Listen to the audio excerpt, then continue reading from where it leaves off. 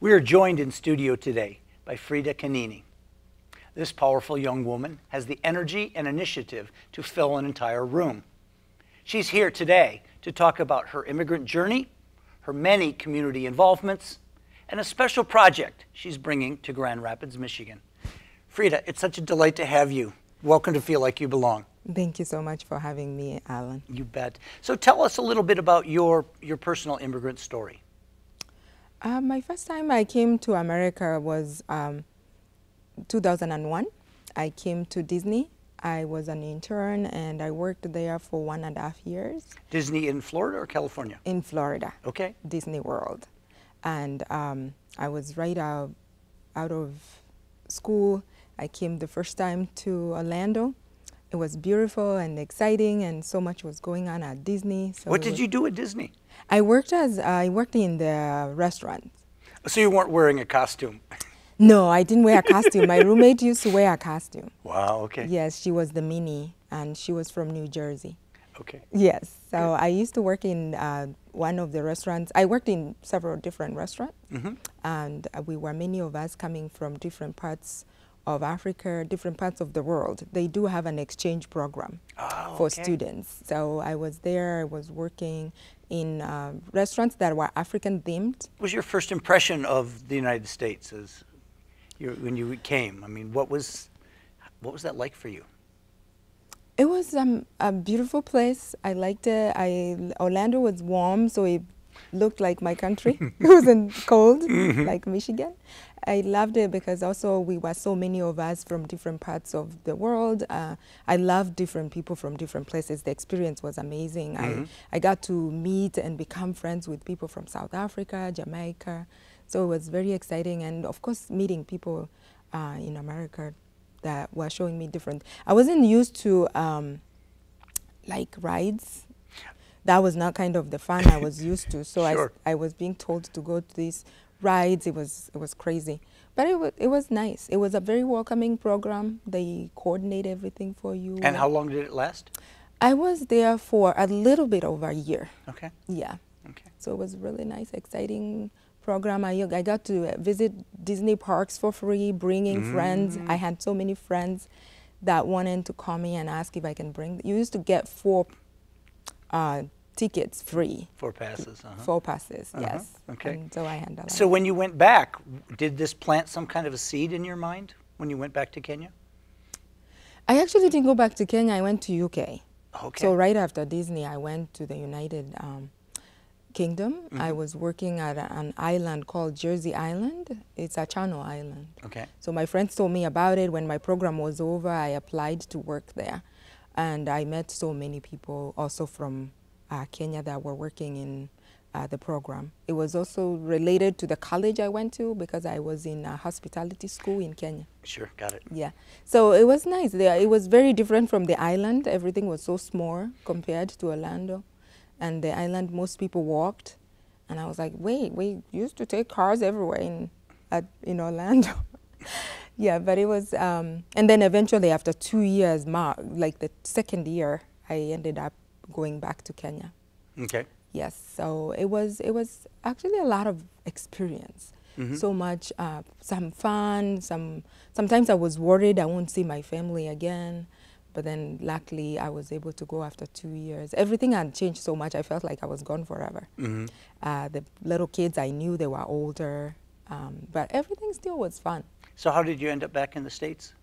After two years and a half in UK, I, first I worked at Jersey Island, and then I moved to the mainland, the UK, UK itself. I was in um, working in a place called Towcester. It's very close to Buckingham, but not Buckingham um, Palace, just another small town in England. I was working there for about one year, and then I applied to go back to a hospitality program and I came through the American Hospitality Academy. Okay. It's in Orlando. Okay. Yes, so that's how I got back to the United States. So how did you make it from warm Orlando to chilly Michigan? Yes, that's what I still wonder.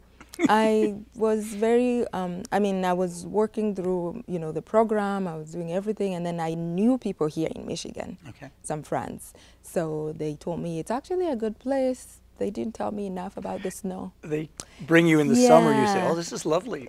Yes, I mean, when I was working at Disney the first time, as I mentioned before I went to UK, I met a couple from Michigan.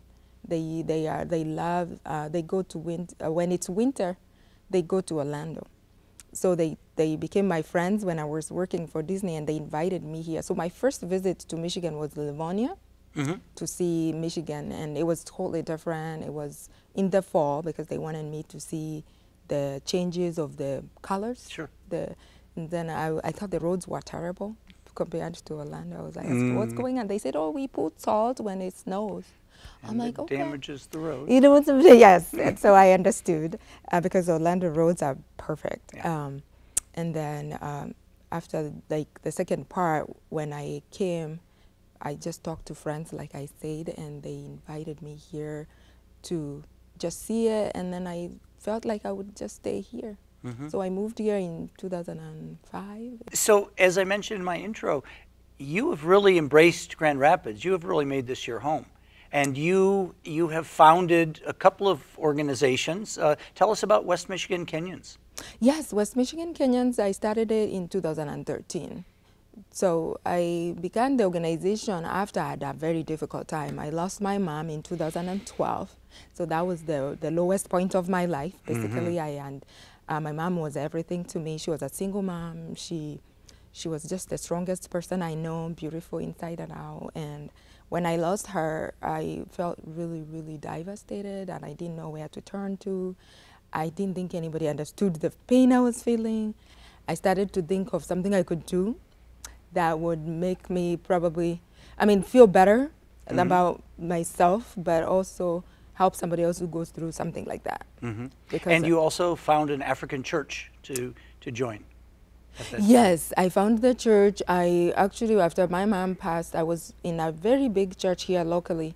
And through my struggles with my mom, uh, financial needs that I had, because I had to pay all our medical uh, expenses, and they were a lot because there's no insurance. So I used to pay everything out of And she was back in Kenya. She was back in Kenya. She, uh, the oncology and everything was charging so much. Oh, my.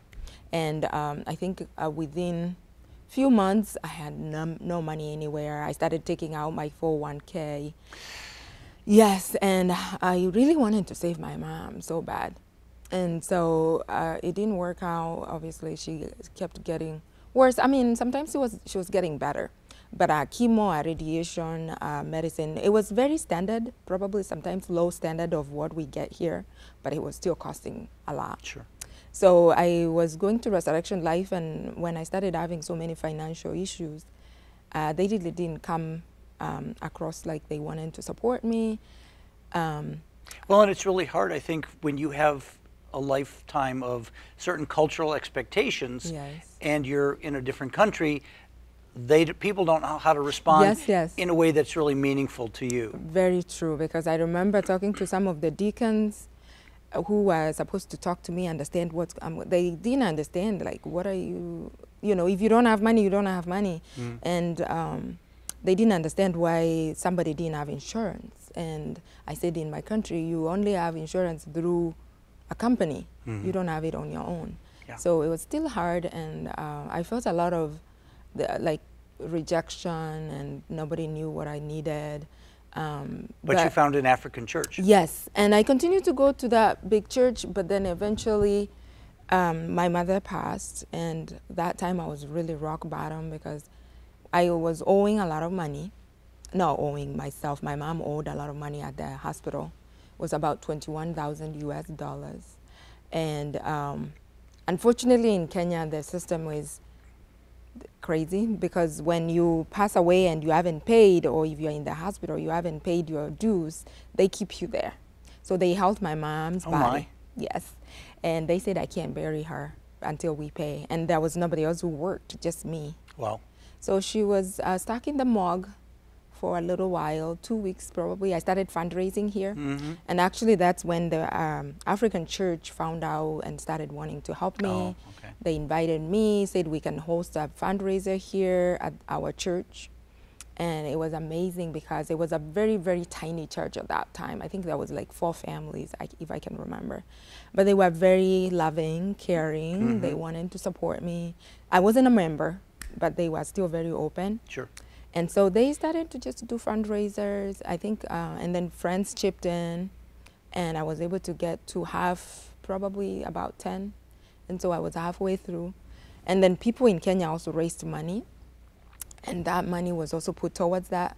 So I think I owed about 4,000 on October 15, and then they said my mother can be released to be buried. Wow. Uh, this church was very kind. Uh, my pastor, Pastor Mandy, was very nice, very understanding, and all my friends uh, were all by my side. So yes, after that, Is uh, this multi uh, multinationalities or primarily a Kenyan church?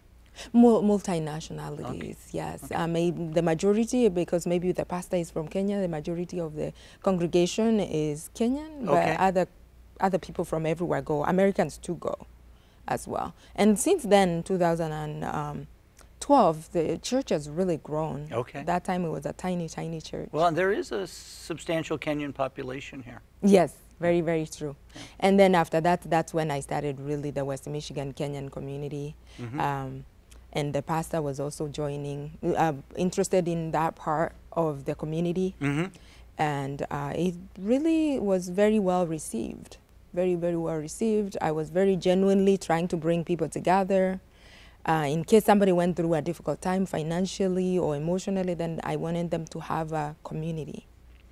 And I think one thing that a lot of Americans don't understand is their assumption is, oh, if you're going to move here, why don't you find an African American community, an African American church?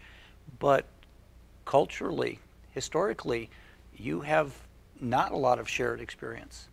Other Very than true. walking down the street, some some white folks might say, "Oh, you both look the same," but you have profoundly different uh, experiences. You have a lot that you don't share, and so um, associating with with people from from your continent is really really meaningful and re- and really grounding. It was I very think. meaningful. I think for me, I wanted somebody who knew what it means if you have a sick parent. Our parents, Yeah. we never put them in nursing homes. Mhm. We we watch them until they die. Sure. So that's it was hard. Um, you know, somebody saying, you know, she could go to a hospice or or a nursing home. They don't go. My grandmother lived with us, with my mom for Sure, sure. forever. And it's just So- a cultural expectation. Yeah. Um, we're, our time is running short, and I just I really want to touch base on this huge new project of yours. You had this vision. You said Grand Rapids really needs an African festival. Talk about what you've got cooking. Yes. Well, last year I, I started my own small business, Flora's Elegance Events Decor. And I've attended an event where you were the were the decorations Yes. company and was quite lovely. Yes, yes, I love it, and it's named after my mom, Flora. So it has a lot. The branding name is um, based on her personality, Mm. and it's the elegance, the beauty from inside out. So my business. Uh, and you're doing this on the side because you actually have a day job too. Yes, I have a full-time job at uh, the Cultural Intelligence Center downtown Grand Rapids. And those people are doing really important work. But I want to go back to the, the African festival before we run out of time. Yes. So, So when is it going to be? August 10. I would like to invite everybody to attend. It will be wonderful. It will be fashion, food, entertainment, different uh, uh, songs and music from Africa. There will be also uh, comedians. I think I have two so far. One from Ethiopia, one from uh, Nigeria. We'll have um, local businesses uh, having their tables there.